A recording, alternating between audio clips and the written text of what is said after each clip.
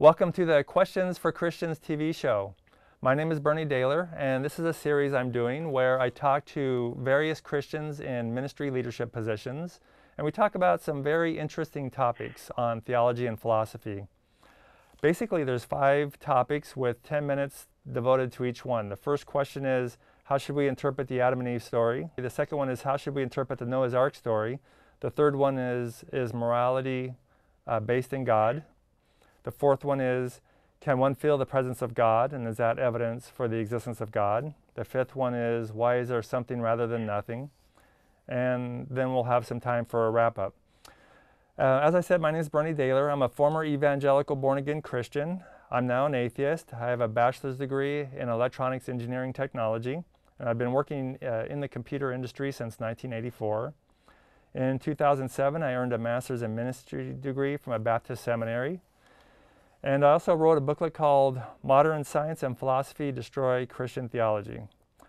Today, my guest is Neil Mammen. He's a active Christian apologist. That's a person who defends the faith. And he's also an author. Uh, Neil, please take a minute to int introduce yourself to people who have never heard your name. Um, go ahead and descri describe what you do for a ministry and what kind of work you're doing. Well, um, you, you called me an apologist. I'm actually a uh, uh, amateur apologist. I'm actually an engineer during the day. I have degrees in solid state physics, computer engineering, and uh, electrical and computer and electronic engineering. So um, I've um, I would love to be a full-time apologist. I don't know that I could pay the bills with it, so I, I do it in my spare time. The uh, I wrote a couple of books just because it's fun to write books, and, and today anybody can write a book. Uh, you don't need a huge publisher to do that. You can uh, self-publish, or you can use some small publishers. So I, a couple of people said, "Hey, you should put your ideas down." So I wrote a couple of books. The first one was called "Who Is Agent X?" Proving that science and logic uh, show it's more reasonable to think God exists. The other one is a book on politics. It's called Jesus is Involved in Politics. Why aren't you? Why isn't your church?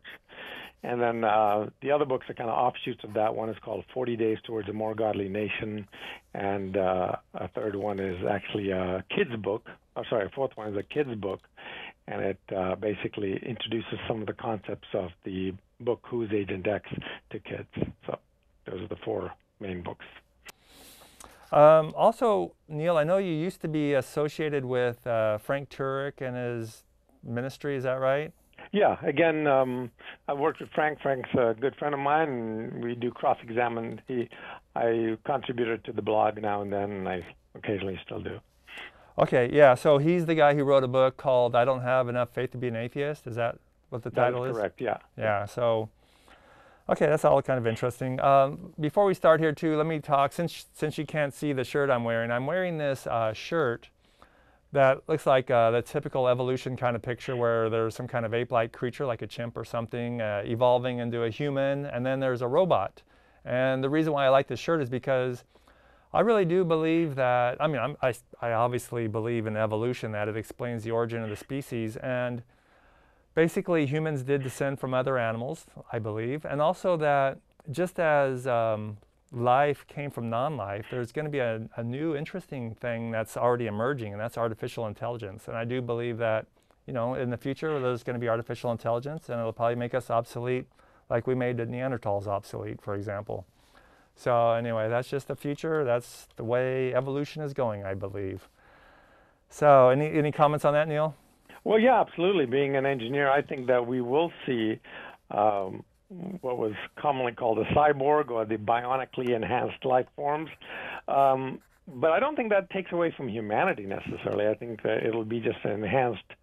Uh, it'll certainly have certain characteristics, just like the iPhone has made you able to bring up contacts. I think eventually we will have ocular implants, and we will have um, memory downloads that we can keep in our um, that we can access that iPhone electronically through uh, impulses and neurons.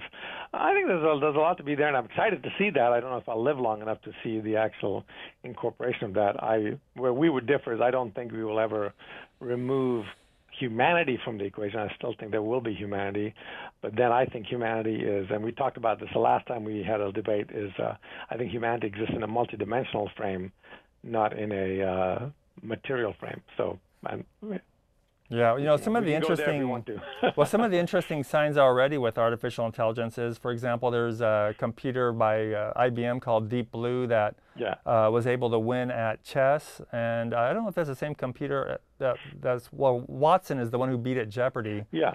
And um, I don't know if you heard this or not, but they repurposed Watson to actually sort through and try to comprehend somehow all the um, scientific journals. They say like if you're a scientist trying to do research, it's hard to keep up with all the journals, and so they have they have it repurposed to try to read all the articles and try to collate it and come up with an understanding of what's moving there, and maybe just trying to understand it in that way. And then yeah, also, actually, with, well, yeah. and then also um, Google has a driving car now, and um, even Tesla. They, you know, there's on YouTube. You can see uh, you can put it in a driving mode where it'll automatically switch lanes and and drive for you. So there's a lot of awareness kind of coming. Uh, that we're seeing a lot of these elementary signs. And I'm uh, I'm in the middle of a lot of that. You know, we're doing a lot of design and stuff like that in that you know similar areas. Uh, but uh, I think the and I'm I'm familiar with Watson going forward. By the way, but the the question is, you know, Deep Blue won the chess tournament, but did uh, did Deep Blue go home and then wonder whether Deep Pink would accept his request for a date? Uh, the answer Right. is no. Deep Blue doesn't care about that because Deep Blue wasn't programmed to care about that. And and so the question is, can you really uh, create a uh, uh, what we call self-awareness to the point that um, that is not programmed, that is not functionally programmed, where it actually programs itself? And that would be something very interesting to see if that if we get there. Um, Yeah, and another thing that's interesting about how morality comes into this too is I, I didn't read the article, kind of the headline, but I, I can kind of guess where it's going, where you need to have some kind of morality programmed into these cars because, for example, let's say the car finds itself in a situation where it's, it's either going to have to get in an accident and, and run over one person or go into the crowd and kill 30 people. And so it's going to have to make judgment decisions like that. So Well, hopefully the first thing is the iRobot, the Asimov's three laws, right? So uh, of a robot, and that's the first thing. The second one would be to do the least amount of damage, the least amount of harm. And I think yeah, it will it, it will come up. Now the question though is, uh, eventually, I think that will only be there for a few years. Eventually, I think all governments will then say you are it is illegal to drive your own car on the road. It will come to the point Sure. where you are not allowed to. Why? Because it's simply dangerous. Right, right, you right. Can drive, you can drive your own car on a private road on your private racetrack, right, right. but on the public roads, taxpayer-funded roads, you will not be allowed to drive. And I have I have no problems with that, even though I am a, I enjoy driving my car. right. Um, I think at that point in life, I mean, the number of people who die from car accidents is huge. And as I grow older, I I will embrace um, a car that watches out for me um, as I my reflexes slow down and things like that. You know, so I yeah well let's that. let's not get into that too much i, I just wanted to, i just wanted to, the broach uh, to breach the topic that uh, morality does play into the computer programming it's kind of interesting and the artificial intelligence okay and we'll talk more about that maybe on our morality section okay so how about if we start the very first one uh, this is going to be a 10 minute discussion on adam and eve so um, maybe you can tell me what your view of Adam and Eve is, because as I understand it, you know, the, the way I see it is there's these camps. There's young Earth creationists who believe Adam and Eve was created about 10, 6,000 years ago from dirt. You know, God breathed life into it. And then the old Earth creationists, they, they believe, you know, everything about cosmology. The, the Earth is 1000000000 of mm-hmm. years old, but still they believe there's a miracle creation of humans, not through evolution or common descent.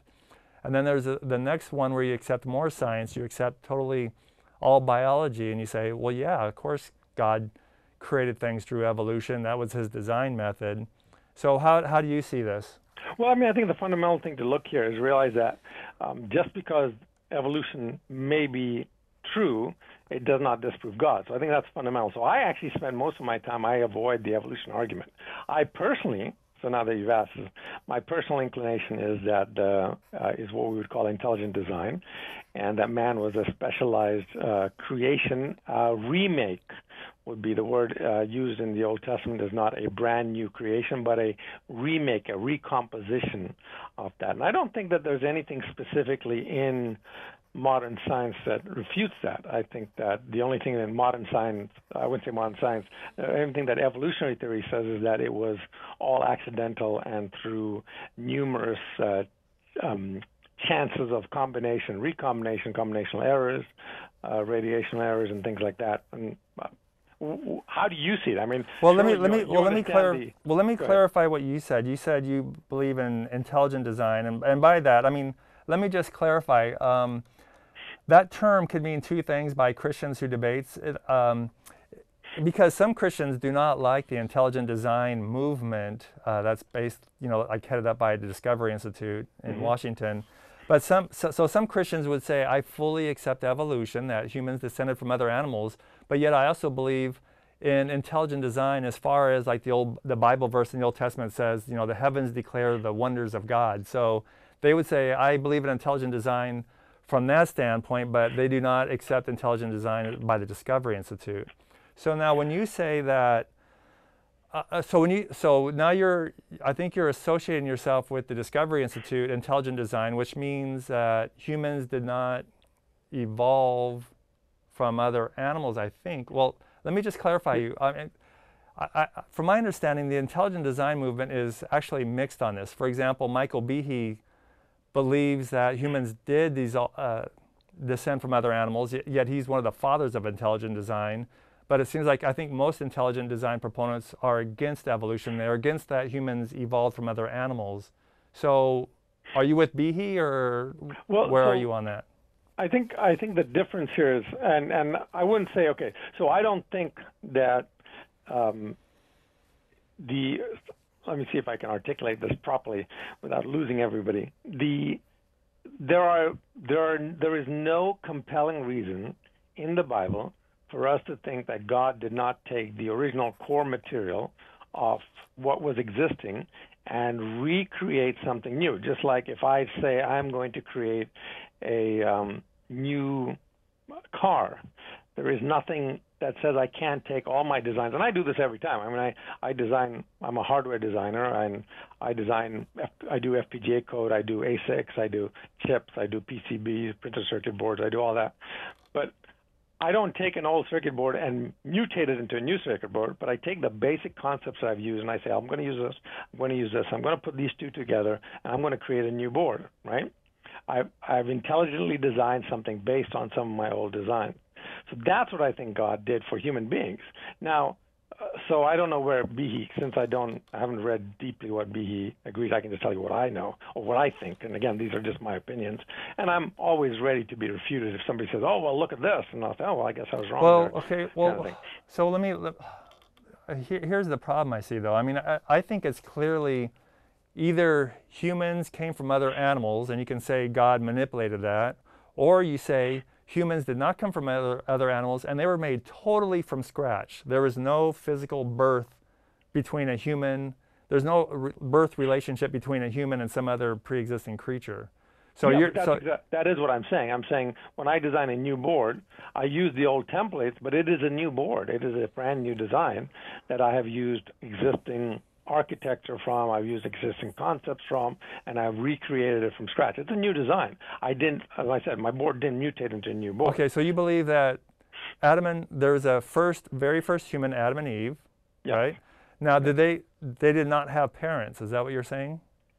Yeah, it would, it would make sense that they didn't if that's the case. The question is, is there any indication that we all know that we, I mean, some modern science says we design, we descended from two human beings. We all descended from two human beings. It wasn't like a group of human beings and we were all separate. Well, I would disagree with that. I think there's a lot of evidence right now. I mean, again, we, you no. depends on which evidence you're looking for. What, what, what, what's evidence that we all descended from two human beings? I think we have um, we have the chromosome, the two. What you've got, mitochondrial Eve, yeah. and um, and then the the, at, the equivalent Adam. So we okay, have, yeah, but see, the thing there is mitochondrial Eve is the least common ancestor of all women, which says yeah. absolutely nothing of the men.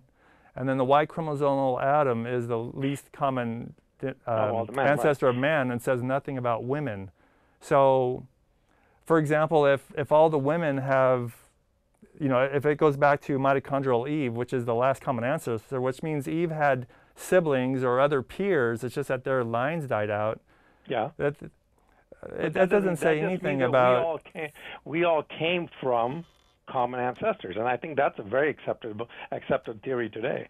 No, but what I'm saying is mitochondrial Eve and Y chromosomal Adam have nothing at all to do with saying that that's evidence for a primal pair of Adam and Eve. Well, I don't think. Well, here's what's interesting about it. If you look at mitochondrial Eve, she's actually older than Y chromosome Adam, right? She's about well, okay. let me let me give years. you let me give you an example of this.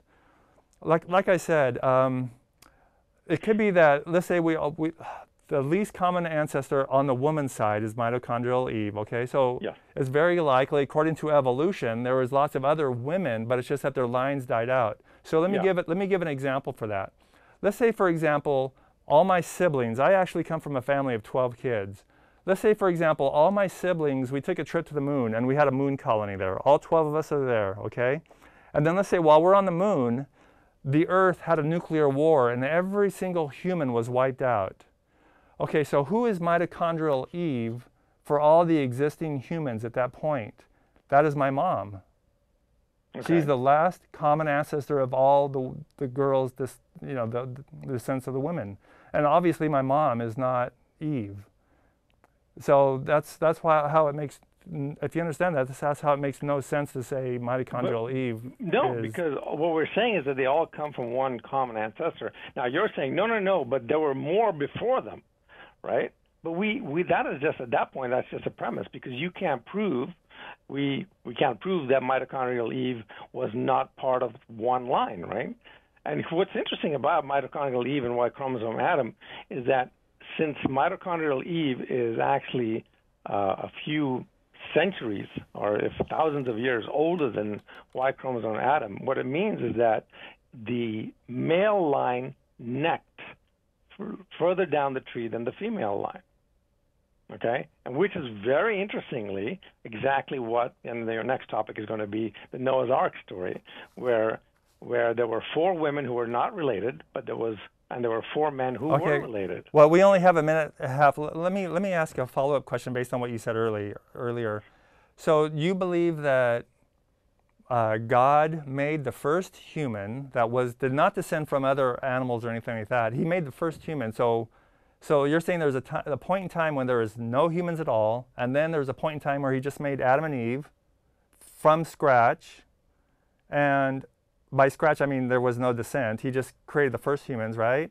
hmm What And- we would consider humans, yeah. And then they they had kids, and then all these kids interbred and everything, and that's where all the humans are from. That's what your that's what your idea is. Yeah. And how is your idea? Well, let me ask you this: how how do you see that happening? When were the first humans? Well, there- I, I would say, according to evolution, there is no first human, there's no first Okay. rabbit, there's no first whale, there's no first anything, because what happens is species evolve from other species. Right. And like Richard Dawkins says, if you go back 198 million generations, your your ancestor is a fish. So, the, you think, if you think that's spend- funny, what's what's funny is that's that's modern science. I I spend my time telling Christians stop saying that we all came from monkeys because that is not the theory of evolution. And now you just said, hey, we all came from a fish. So That's right. Now, for more information, for more information, look at Richard Dawkins' book. It's called The Magic of Reality, and he has a long chapter on this. So, the the uh, the the the interesting thing is though that at some point we call them humans. sure. And yeah, Well- and w- was and uh, and regardless of how you get there, either there was a group of people that we called humans, or there was one human, but or there were a couple. well, according the to according to really is- evolution, it's like imagine if you had uh, black and white on one side, and then you had all these shades of gray in between. When you look at, you can't say where does it become black or where does it become white. But if you took snapshots, then you can clearly see, oh yeah, this is much grayer than that, and this is much darker than that. But if you don't have, you know, evolution works in that continuum, and it's just that the fossils are snapshots. So in the fossils, you can see all these definite species, but you cannot see the continuum that evolution did because the fossils are so rare. Yeah, see, I don't know that if I agree with your definition of evolution. Okay, though. well, I'll give you 30 seconds. I'll give you 30 seconds to finish up, and then we'll go on to the next uh, topic. Yeah, I, and again, I don't, I don't want to be sitting here de- defining what you believe or what, what evolution should believe. But for as far as I understand on the evolutionary theory, is that the, yeah, there were multiple species, but at some certain point, a group of individuals became what we call today humans. And yeah, they had some DNA from the Neanderthals. They had some uh, uh, two uh, percent from the Denisovians, you know, and they had all these different things. But there was a period of time when we said these are what modern day humans are, mm-hmm. and they are different from, and the other branches all died. So I don't know that I don't know that that refutes the idea of a common ancestor in any way. In fact, I think it it says the only difference is you're saying it was a group of people, and I was saying it was just two. Well, it's not only it's we not only, that much. It's not only a group of people; it's that evolution happens over a within a population and over time. So it's not never ever, according to evolution, did a non did a human pop out of a non-human.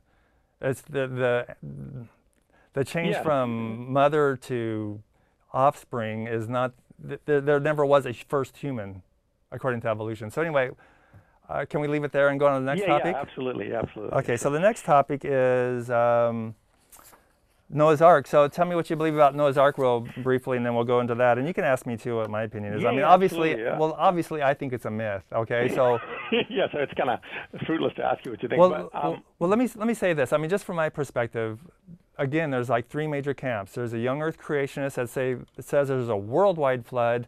All air breathing creatures were destroyed unless they were saved on the ark, which includes eight people, and this was about 4,000 years ago. And then there's another group that says, no, no, it was a local flood, and that wiped out all the humans happened to be in that area, and that wiped out all humans except for the eight saved on the ark. And then there's another group of Christians that go up one more notch and they say, oh, well, no, the, there, there was no event. That, that's just a story to teach us some theological thing. It has nothing to do with history. So with that, you, you can comment on that now. So I think uh, I, I would fall, just to give people an understanding, I fall, I fall in the middle group. Uh, there was a local flood, and the reason I think it was a local flood, and I, again, I'm not. If somebody comes and says, "Oh yeah," and I can prove that there was a global flood, I'm all for that. But I think if you look at the passage in the Bible, um, the word that they use for the the flood, the water covered the earth. The word is eretz, but that's the same word that we use when we say Abraham left his eretz, which is basically left Uh, the the Syrian area or the Iraq Iraq area, depending on where he originated, because he actually went first to Syria and then he went down to the Canaan area. Uh, he left his Erat, he left his family behind, he left his Erat. So the same word is used to mean region or area. So there's no really compelling reason for us to say, oh, this is the global flood. Now, of course, we'd like to think of this huge global flood destroying everything. The, the problem, though, when we come with that, you go, well, why did God make him build an ark? Why not just travel across the hills to higher ground, right? And why didn't people um, why didn't people do that? Why didn't they just travel across the hill? I would say there are two reasons why that would be the case. One, God is over, if you look at the Old Testament history, God is very much into uh, presenting signs of what is going to happen, a, a symbol, you know, the the scapegoat in the Old Testament, the sacrifice in the Old Testament. They're all symbols for what is to come, Christ who is to come. And the ark is a symbol of Christ, the, the, the ark that will carry us through um, uh, the, the, if you will, the, the condemnation by God. So I think our, the ark has a specific theological purpose for being an ark that carries people. That's why they didn't just leave. And as far as why didn't they just run to higher ground? Well, if the flood, flash flood happens suddenly and it destroys a whole, a whole flood, floodplain area, it's quite feasible that it will kill people and anyone else that um, may not have, um, uh, you know, that was not ready for it and wasn't prepared for it would have been would have perished. So therefore, the flood, the ark, then only needs to carry what Noah and his family needs for the period of time where the flood was there. Now you could say, well, what? Well, what was the flood was there for a year? When did breach breach on some other area? Again, um, it did breach eventually, and they survived. And there's there's lots of lots of reasons where you can explain that and go on to that. But again, my main understanding there is I don't think it was global. Why don't you think it was global? Just because there's no evidence for it, or? Yeah, and as I said, I, I think I I think that that idea can be you know, somebody could dissuade me of that if they were to show me the evidence for a global flood. Uh, it's, to me, it's not a huge faith issue. Well, what would you say um, about somebody like Ken Ham that said, well, you know, obviously it was a global flood because the Bible teaches that, and the only reason why people don't believe it is because they're corrupted by atheistic scientists? But I, as I said, I mean, if you look at the word for Eretz, it's been used to mean local. It's mean to, to re, a regional area. It's also been used to mean the earth. So it could be used either way, and I don't think there's any compelling reason. Well, for me, you know, my opinion is, you know, I used to be a Christian. I, I tried to go through all of it, you know, the most literal uh, translation or the most literal interpretation at first, and I think it's natural, like Ken Ham, because the Bible is very clear. I think it's very natural to take it as a global flood. But then the problem is the science is against it, and logic and everything. Once you get a basic scientific understanding, so that's why you have to back off and say it was a local flood no, because. But, but I don't think if you start looking at the early church fathers, it's it was only recently that people started insisting it was a global flood. I started looking at the early. In fact, it wasn't. I think there was a book by. But the Bible, but the Bible is very clear as far as how you know when the rains started, uh, about how it covered all the mountaintops, uh, plus 15 the, feet. Yeah, again, it counted the mountaintops in the area in the Eretz. Yeah, know, if it's area. a local, if it's a local flood, I mean, there's kind of a funny picture on the internet that says like there was a local flood, and so yeah, the water is supposed to actually go over the mountains by 15 feet, and it was a local flood. I mean, like there's an invisible wall there holding it up. How, no, how could no, it go no, over the top? How could it go over the tallest mountain by 15 feet if it was a local flood? I don't think I, I think we'd have to go back and look at this specific thing, but I don't think it lends itself to that. I don't think the interpretation needs to lend itself to yeah, it went over every single mountain by 15 feet. It went over their mountains by 15 feet, but there he was in a it was a large area, and I think it was a huge area. In fact, well, how could it go over their mountains? It, how could it go over their mountains by 15 feet? It, you're assuming it went over the highest mountain by 15 feet. No, you said it went over their mountains by 15 feet. Yeah, how, how would it go over their mountains by, by 15 feet? Uh, we'd have to look at the passage. I'm not sure what you're referring to. Why can't it be? Why can't it go over a mountain 15 feet and spread out, and then you look around? Like, like for instance, you could go out in the middle of the ocean and you'll see that some of the mountains are covered by a hundred feet, right? But there are many other mountains. So in his view, he could not see he was unable to see land, right? Because of the curvature of the earth. So he's sitting there.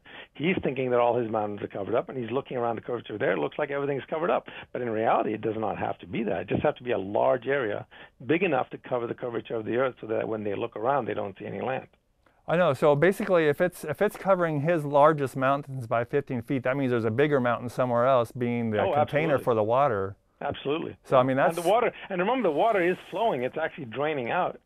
So the question is, how long would it take? And then presumably he was in a valley, um, or a, a, created valley. Maybe the flood created the valley. Well, now, but but again, how, and how could it? I mean, it just seems like it goes against all modern understanding too about even how humans operate. I mean, you, if you believe that humans came out of Africa, that is a long ways away. Do you think all the, I mean, all the humans would have gone over? now, now you're putting a locality for the flood. Mm-hmm. Right. I, well, I don't think it's just a locality for us, does it?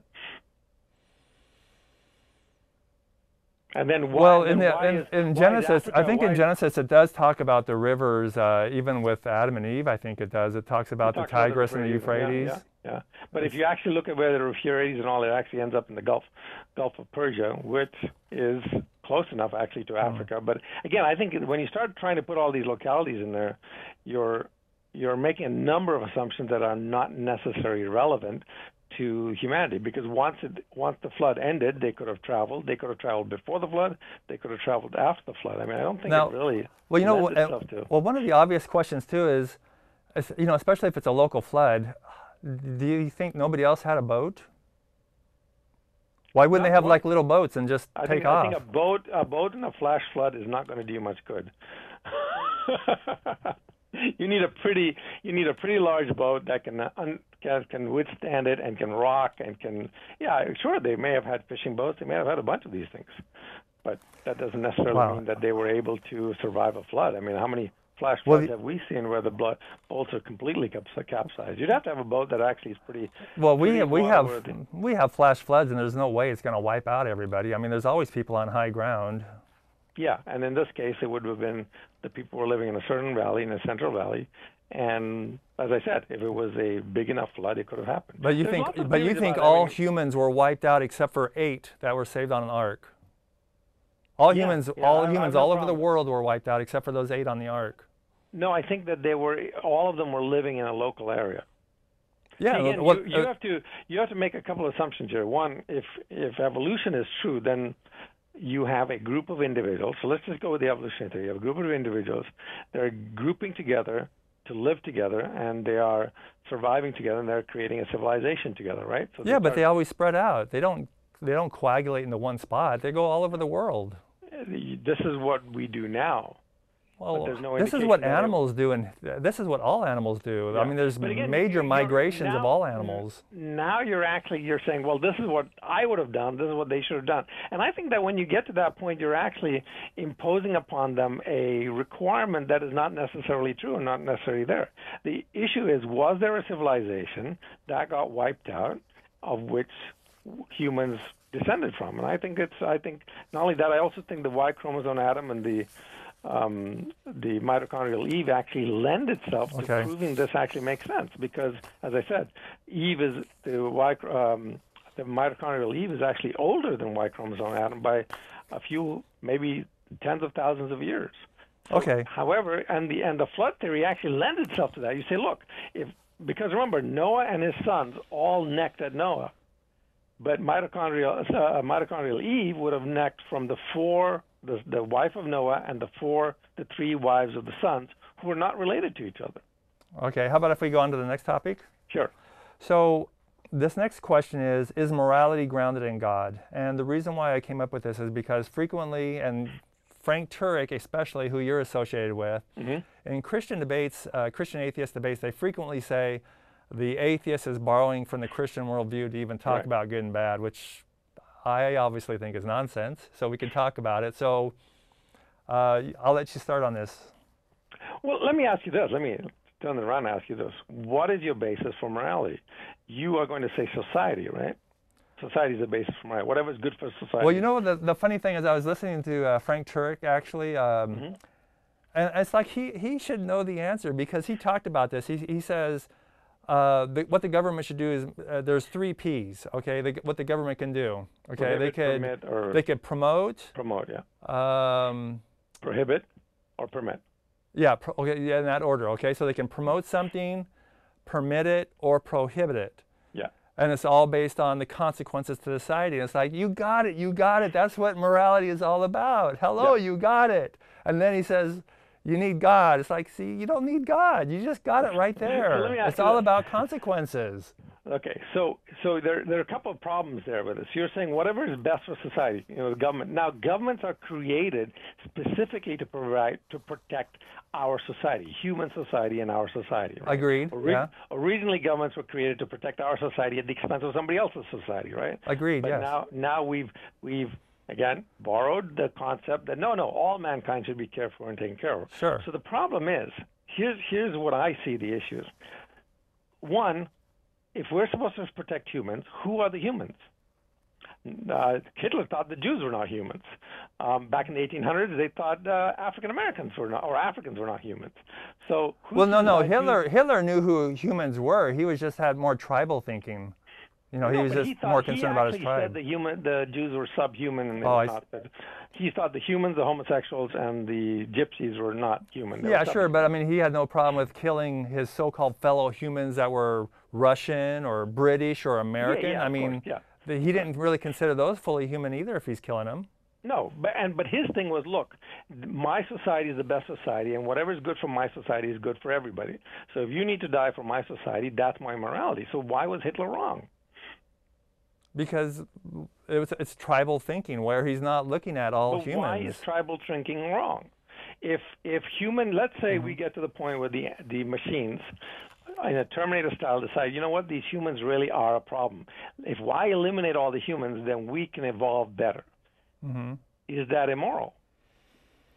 Well, it's a good question. I mean, a lot of people do argue that humans are destroying the earth. There's actually a big um, yeah, uh, what do you call it? People. There's a big extinction extinction yeah. event right now caused by humans, and yeah. it's it's, it's self-defeating because they will go extinct for the people who disagree with them. Go I mean, extinct. you know, the Neanderthals probably weren't too impressed with Homo sapiens coming on and taking over either. I'm sure they weren't. So, you know, evolution is as you know things but, are progressing. So, I mean, as far as intellect and all that.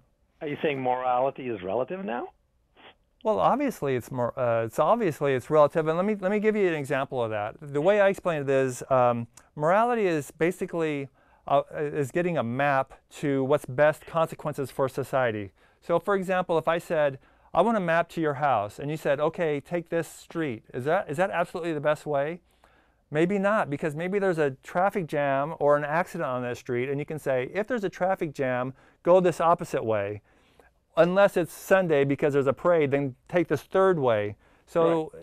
that's exactly how morality is. We're trying to figure out how to get from A to B, how to get to a better society. And uh, in that way, it's all relative depending on the circumstances. But in that circumstance, the goal was to get to the house. Exactly. What is the goal here? Of community flourishing, just like Fran Turek, just like Turek said, the three P's is exactly why, the three P's. But again, I asked you the question: Why is that the goal? Hitler that's, thought the goal was for his community to flourish. If, if you ask, if you ask, why is the goal community flourishing for morality? To me, mm-hmm. that's just by definition. It's like saying, why is math about numbers? That's because that's what math is. That's what we no, defined it. And so, so morality fine. is all about behavior. Okay, but why does that make it good? So morality is about behavior, but why is mm-hmm. it good for people, humans to flourish? As I said, why was Hitler wrong? Hitler thought it was good for only the Germans to flourish and everybody else should die. Why was Hitler wrong? Because he had tribal thinking. He wasn't seeing all of us why as one. He, he wasn't yeah, tribal thinking is very bad. Whenever, you know, even Americans, they say American exceptionalism. It's like, you know, look, we need to think of ourselves as part of the planet, not just like, oh, Americans are, you know, greater than the British and the French and everybody else. We need this. We need to see there's a worldwide community. We need to understand each other as You're making a, declaration. You're not giving yes. me any, any reason why it's true. Because You're of flourishing. So, it's, it's, it always goes back to the flourishing. Yeah, but Hitler could have created the super race, right? He he and he was a big fan of Nietzsche, and Nietzsche wanted to make the the Superman, right? Uh, so he Hitler thought, mm-hmm. let's kill the weak, let's yeah. kill the the brain, the the people who don't have full brain function. Right, right. Life not well, there living. there are some arguments for that. I mean, there there are some arguments. For example, uh, retarded people. Should we allow retarded people to breed, if, if, or people that have something bad in their genes? Because by allowing them to breed, they're going to bring more misery in the world. Um, because I they're going to be passing a, on these bad genes, and that. so that's a, that's a good that's a good moral argument to have. I, I, think they made a movie about that. I think it's called Gattaca, right? Well, uh, see the see the problem see the problem is is when you get off the logic and the thinking about it, and you say like, oh well, I believe this because God told me or God said this in His holy book. It's like, wait a minute, now we got all these holy books going against each other. No, no, no, and and I I would not say that. I would not just because it says that in the Bible does not make it true.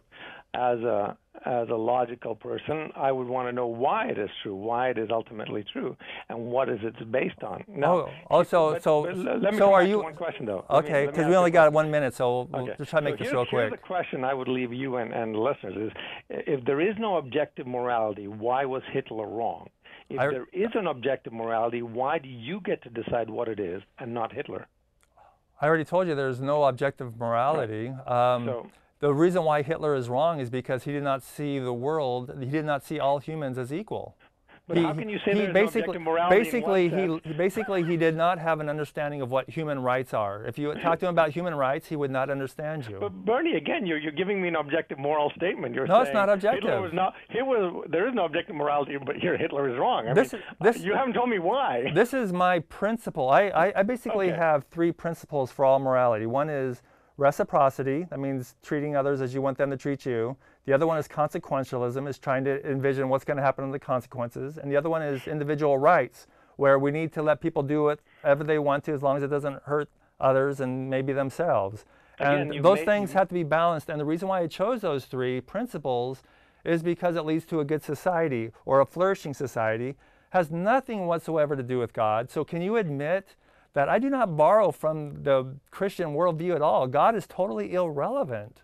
No, see, I think okay. So I and we may go along on this point, but I think you are borrowing because until Christians came around and said all men were equal, there was no society that thought all men were equal. There might have been some minor groups here and there, but in I don't general, need... the concept that all men were equal. No, no, no, no, no, no, no. Come on, to have to have the best society, everybody has to be treated with respect. That's no, the best no, way you have no, a society. To have the best society, you just need to kill everybody else. That ain't gonna work. According- Everybody's gonna be according to watching their back. Everybody's gonna be fighting. That's not a peaceful According, according to society. Hitler, if he had won, he could have had the best society. Again, you see, the point is that you, you you're saying in one sense you're making a declaration of objective morality, and the other sense you're saying no, there is no objective morality. Let me. Uh, Oh let- no, let well, wrap we're out of time. So can you just yeah. like just follow it up in like a few Okay. seconds? if there is a God, you cannot be morally obligated to a thing. You cannot be morally obligated to a concept. If there is a God who created mankind, he could insist that we are morally morally objected, uh, um, um, obligated to him. However, that assumes and presumes that we know who this God is and what he says. So and I'm going to leave it at that because uh, I'm not going to get into how do we know the Bible is true, how do we know the Bible is telling the truth, and why not the Quran because that's a much more decision. But my my point is that if we know that there, if there is a God, then there is an objective moral law, and it would be based on us being morally obligated to the Creator of all humanity. The only person that can tell me to love another human being is someone who has authority over me and that human being. Well, everything you just said is totally true. So I, I agree with you now. Psych, just tricked you out there. We- oh no! I, yeah. I, I was going to lead you in the prayer. Yeah, yeah, yeah. Uh, maybe after the next one. Let's ready for the next one. Sure. Okay. Uh, so this next one is Can one feel the presence of God? Uh, basically, just a little background on this. Um, William Lane Craig, you know, he's a very famous Christian apologist and debater um, defending the Christian faith. And he has said before that, you know, he would not say that, well, he can feel the presence of God and therefore that's evidence for the existence of God. But he would say, that's actually the biggest reason why he is a believer is because he has this relationship with God. And, you know, so maybe if you cannot articulate why God exists, he knows God exists because he feels it. And I just want to say that I know what that's like. I, I was a born again evangelical Christian for a long time, something like 25 years. When somebody says they feel a relationship with God, I know what that is. I felt like I felt it. Um, I think everything's the same. The only thing is, I had to come to the conclusion that it's a delusion because I'm convinced God does not exist because there's no good evidence for God, God's existence, and also there's good evidence against God's existence. And so, what, what's your comments on that? Well, I, I don't think you can feel God's presence unless He decides to allow you to feel it. The problem is far too many people don't feel God's presence. Instead, they have a pseudo feeling they're in a group of other people who say they feel God's presence. And this is one of my biggest beefs as a Christian. You know, oh, God spoke to me. And my first question is, what did he sound like? And how do you know he was really speaking to you? It wasn't the pizza you ate last night. I mean, I know that I can take your brain and tweak it with a few electrodes, and you will have this supernatural feeling that says that God exists and that you love God and God is intimately uh, talking to you. So I think I think that um, if God is going to show up, it better be a very physical experience. It better be a supernatural, physical experience. And if you look at the Old Testament, all the miracles were physical, supernatural. Um, they were real events in time and space. Things moved, things blew up, things burnt, things like that. You know, um, a, a presence was seen, not felt, but seen. Uh, even in the speaking in the Old Testament, it was a voice. It was not something inside your spirit. It was actually a physical voice in time and space. And Well, let me and- well, let me ask you. Do you personally feel like you feel the presence of God? You feel the presence relationship, a, a, a presence or a relationship with Jesus, and do you feel like God leads you? I okay. So here's the thing: Do I feel that I, my wife loves me? Yes. Um, do I? Uh, f- did I? When I was a kid, did I feel some some movie star was the destined one for me? When I was a 13 year old. Yes. Uh, that did not make that any real. It, the, that does not make the fact that my wife loves me real. The only way I know my wife really loves me is by the physical events in our lives, right? Well, do you So- feel, but do you feel like God leads you? God talks to you. God gives you. God communicates with you. Absolutely not. No, his uh, communication to me is through the Bible and through logic and Wow. reason. I had a, I had a closer relationship with God than you did. Than you do. Absolutely, absolutely. I am a Christian because it logically makes sense. I am unable to stop being a Christian because I am logically unable to disprove it. Well, to I used to logical. I used to logically believe it. Plus, I had even more, like William Lane Craig said, the relationship with God. I, I felt the presence of God. I felt being led by God. I could ask God what I should do, and felt like He was supplying me answers and directions. No, I, I think I think God does use me. I think that I, I feel a peace, I feel a comfort. But if you were to say, can you use that to prove that really? It's just like I feel my wife loves me, but um, I don't believe she's cheating on me. But I know people who felt their mm. wives loved them and found out they were cheating on them, right? So well, have you have you ever have you ever felt the presence of God like going into a service and they put their hands on you and you fall down or anything like that? No, no. Really? In fact, they did. They laid my they laid laid my their hands on me, and I felt like I was being pushed, and I mm. fought against it, and I didn't fall down. You know, there there was a time when I was a Christian, I was really seeking that a lot, and even speaking in tongues. I never did speak in tongues, but I could fake it really good. How to say how to say what good you get I got so I don't see got you know. There you go. But, hey, God but the thing is, um, I, I really thought it a lot, and I uh, and I always came up empty. It never, like you said, you know, it seems like somebody's trying to push on you and everything. But I did get a couple, after a while, I finally did get a couple of weird experiences where I felt like uh, there was an electric field and I, I got put down by an electric field or something. That was really perplexing to me. So, but still, I have to believe that. that. it's a delusion because, um, because of my knowledge. Well, the, the problem with that is, see, I'm not saying it doesn't exist. The problem with that is that you can't verify it and use it as a reason to believe you can say this is an added advantage. I love my wife. My love loves me.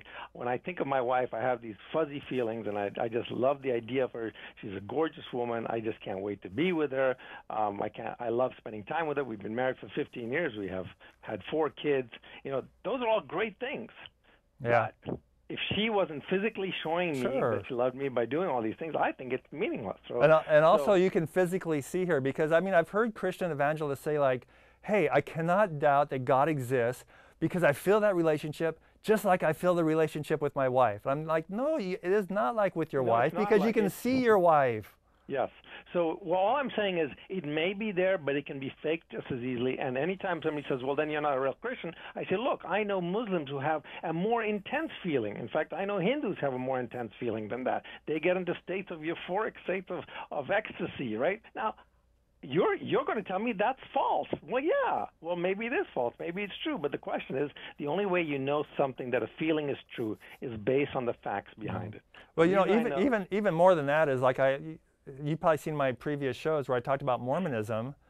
I, I talked to Mormons and they said pray about the Book of Mormon to get a burning in the bosom, I, the Book of Mormon, and I did. I prayed and I got that feeling, but I said I cannot believe this because of my head.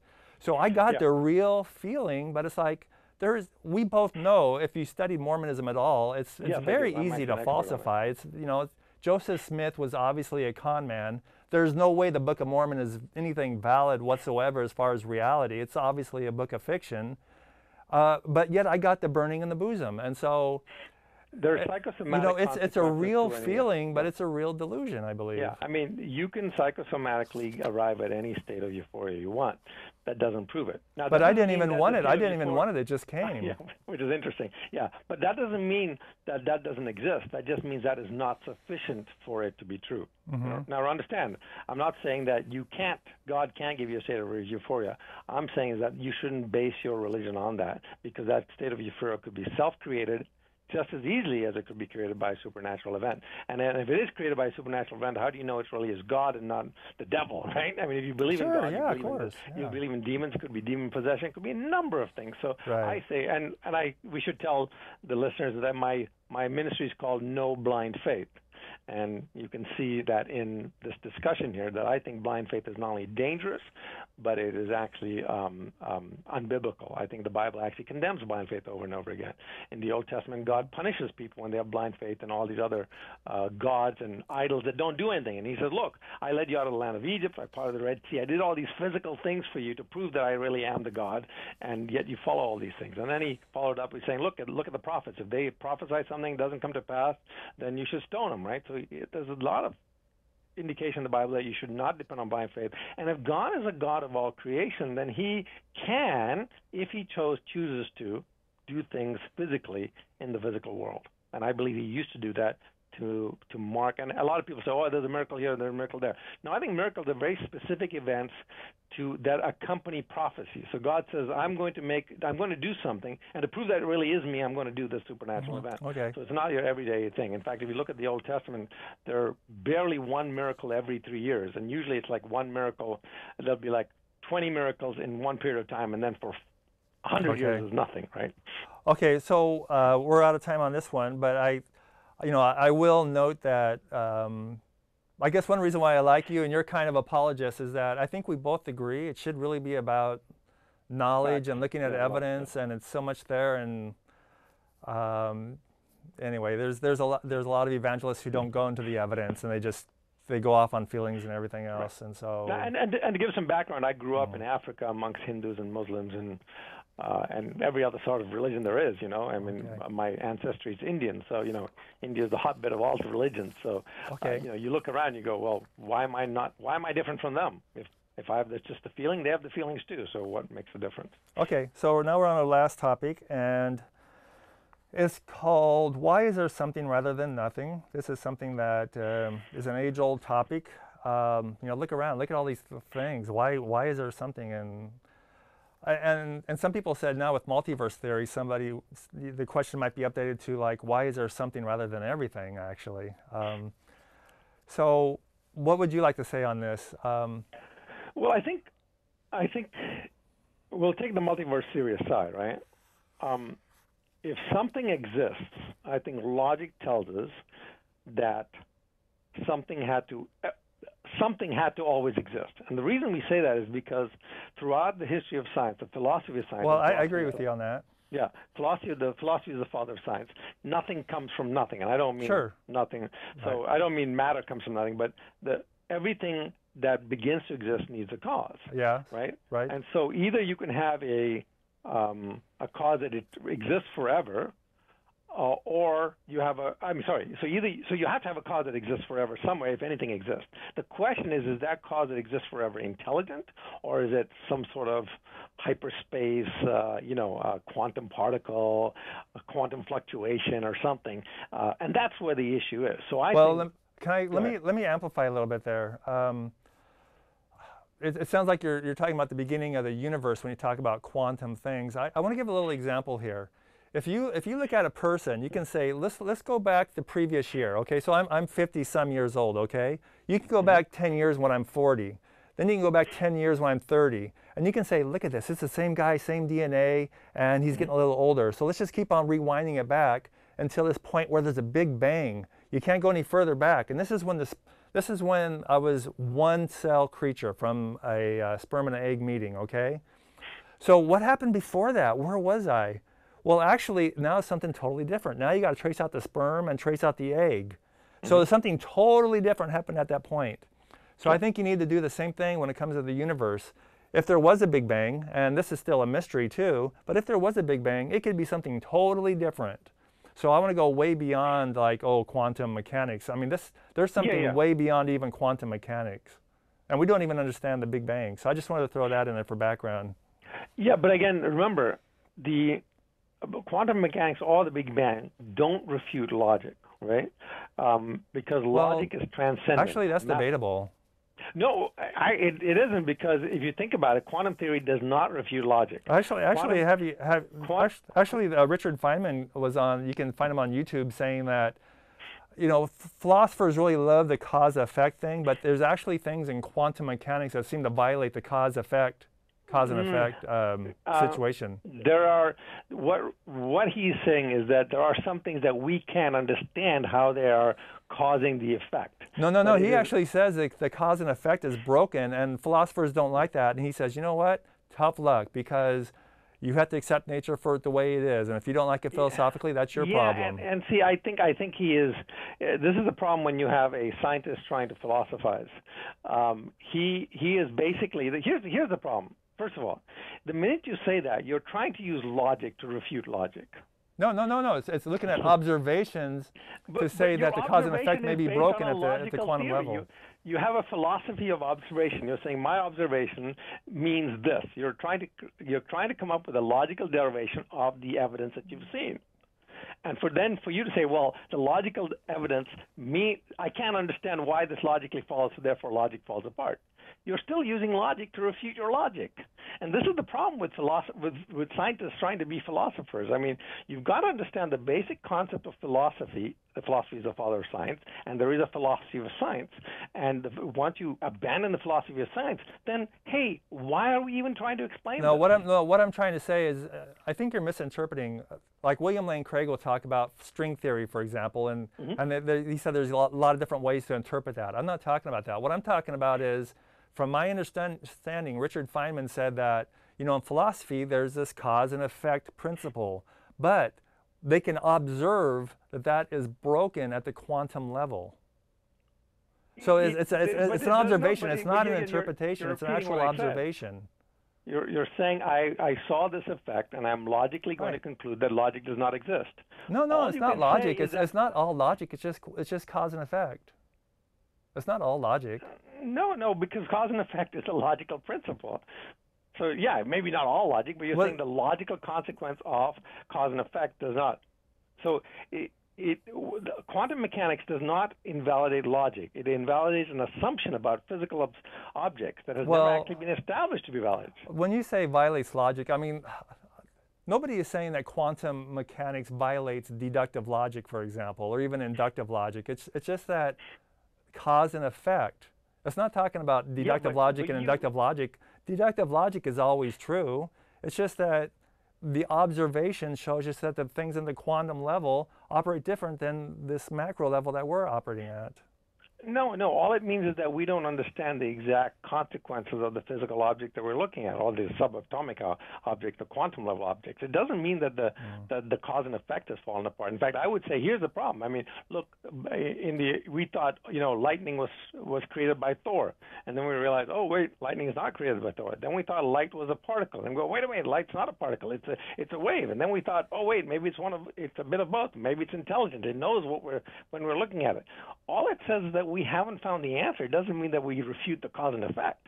So we haven't found the exact cause of this quantum. There's no logical way to deduce that the cause and effect are not tied together. Oh, I, I So all don't know. I, I disagree. I disagree on the facts on the on the on the case. Uh, and you know, I'm not gonna. Uh, we can. You know, there's here, here's a- I mean I mean I, I don't know exactly what Feynman was referring to, but I know um, I, I don't know if this is the exact example or not. But you know, there's a double slit experiment where you can shoot Yeah. photons through. If Yeah. you don't look at it, then the splash pattern yes. um, is a different from the- wave. yeah. And if you look at it, it then, wait, hold on a second, hold on a second. And if you do look at it, um, it is a particle splash pattern. And so th- somebody actually made an experiment. Is like, well, what happens if we if we let it pass through, not look at it, but before it hits the wall, let's let's start looking. And what happened was uh, it was like back to a, a particle one. So they think so. It's kind of like things travel backwards or something. Uh, uh, so I'm not you sure know, if that's I the exact have- case or I not. have But in, I have a degree in solid state physics. Okay, so we've done we've gone through all this stuff. Here's the thing: we don't understand this, but there's a, there are some there are some there are some ways to explain this that we have not been able to investigate too. First of all, the most obvious explanation for this is well, first of all, time. I shouldn't say first. well, we only have uh, 30 seconds, so you're gonna have to make it quick. So, so if there are multiple dimensions, right? If at the point of the Big Bang we think there were at least 10 dimensions, M theory says there are 11 dimensions that tie them all together. Right now we can only observe three, four of those dimensions, three plus time. Okay, if there are multiple dimensions, there could be another connection in another dimension that has to do with vision, that has to do with sight, it has to do with knowledge, it has to do with these things, and these can affect experiments at the quantum level. But these are does this does not mean that logic ceases to exist right? All it means is that we don't understand what the logic is now. Well, I never said that logic ceases to uh, exist. I said the cause and effect thing breaks at the quantum level. There's still Okay. deductive logic and inductive logic and um, Yeah, the inference yeah, for the best explanation. Those are the abductive logic. There's three. Those those logics don't break. It's just the cause and effect is the only thing that breaks. Yeah, and I think cause and effect is a very basic philosophical premise. Hang on a second, I'm going to switch phones. Okay, so now it's pretty much the end of the show. I'll just give you 30 seconds to wrap up. Uh, how would you like to summarize? Well, I'd summarize it like this. I mean, I think I understand where you're. You and I have a lot in common. We're both engineers. We're both scientists. Um, I, however, feel that the, there is more evidence. It's more reasonable to think God exists based on the evidence that science has given us. I think as the years have passed, we're actually proving more and more closer that there is a God. Now we can argue whether this God is the God of the Bible or the God of the of the of an unknown God or whatever. We can argue that. That's a completely different argument. But and I think it tends towards the God of the Bible, and I think I can prove that. Uh, not 100%, but within reasonable, uh, a reasonable argument can be made for it. So that's why I am a Christian. I'm a Christian not because of the feelings, but because of the logic. Yeah, and I just want to say too, I, I appreciate that. I think we both have the same focus that things should be logical and we should try to get the best conclusion based on logic and uh, science. Um, so I think we have that in agreement. Um, and it's kind of funny in, in, contrast to like I've debated Eric Hovind and he likes to and and Sye Ten Bruggencate. You know those guys? I don't know the second guy. I, I definitely have uh, heard of Eric Hovind, not met him or anything. Yeah, I mean, they they play they play these mind games, and like one thing uh, one thing they say is, if you don't know everything, then you don't know anything unless you know somebody who does. And it just it just kind of it's just hilarious how corny it is. Yeah, and I, but, and but you know, but here's and, here, and here's true. why and here's why I think they do it is because they don't have the knowledge, and so they're trying to circum they're trying to circumvent the whole intellectual discussion and, and, going into something I don't know something like that. But I think that's the reason why is they're trying to avoid an intellectual discussion. Well, yeah, and I think they they also come with the the um, the concept that um, it's called presuppositional apologetics, which says you already know the truth. You're just being so rebellious that you're not listening to what the truth is. And I think that's a horrible way to approach it. Okay, well, another thing we agree on. okay. All right. Well, thank you for calling in. I really appreciate it it was fun. And, and, you know, too bad we didn't. We obviously need like ten times more time to try to sort anything out. But yeah, it's good for a start, I guess. So Thank thanks. you, Bernie. Okay, I enjoyed it. All right.